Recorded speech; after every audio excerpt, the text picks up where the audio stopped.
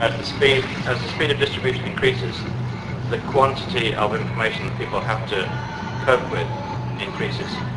Uh, just now, anytime you go on a train or through the city, you know you're bombarded with with information, image, you know, bright images of the size of a building, and and so. Uh, you know, nothing it's very hard to, to, to retain uh, any sense of individuality or specialness in anything, just because everyone's deluged with information the whole time. And, I mean, it's good that everyone has access to a video camera, nearly everyone has access to a video camera. But the consequence is that YouTube has thousands of people every day uploading short pieces of video of somebody getting hurt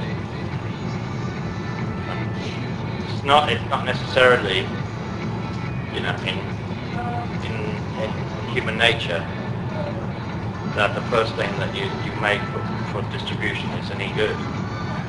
You know, and and if you any any person who's creating something needs to throw away the first 200 ideas they have before they get to a good one.